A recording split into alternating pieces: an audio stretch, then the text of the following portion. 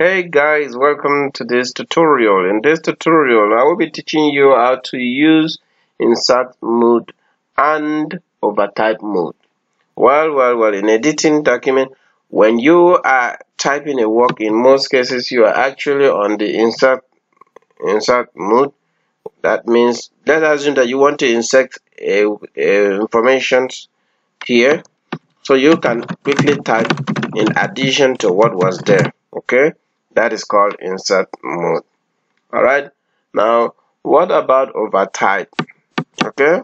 Overtype mode will delete whatever is at the front. Whenever the pointer or the cursor or at the insertion point gets to a character like the W if you type it's going to delete the W and replace it with the new thing you have typed.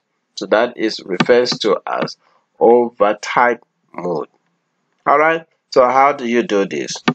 Now let's see how we can use uh, over type mode. In order to use over type mode kindly take your cursor down to file.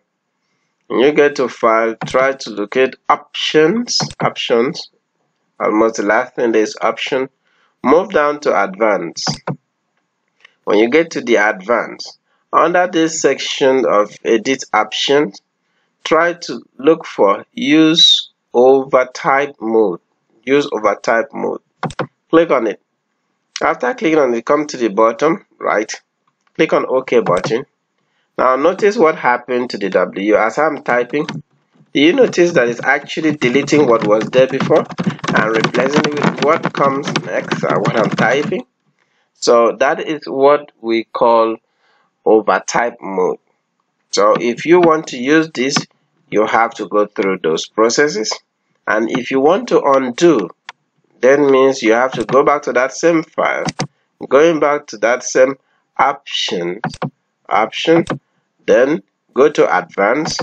You get to advanced and check this box. Okay? After unchecking it just okay so that it will no longer delete your document. I hope you will be able to use this. Please like share this video and uh, Make sure that you subscribe to benefit from much more tutorial to come. Thanks so much. Hope seeing you in the next tutorial.